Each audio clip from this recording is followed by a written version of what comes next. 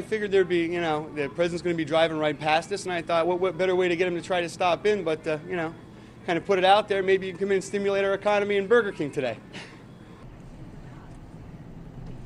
We were uh, very pleased and honored to have the President of the United States visit us.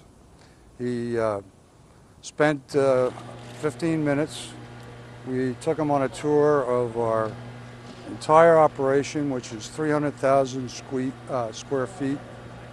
He asked many questions, shook hands with every one of our United Steelworker people that were uh, on staff today, and left uh, with uh, a message about uh, how to uh, get the manufacturing sector in the United States restarted. President. Well, the message was uh, just answering his questions. He asked what he could do, and clearly uh, the answer was help. Uh, how? I'm not smart enough to figure that out. I think this part of Pennsylvania seems to represent a really wide variety of people and the type of people who live all over the country and need a place to live, need food, need housing, need work. And so here he is talking to real people about real issues that really matter.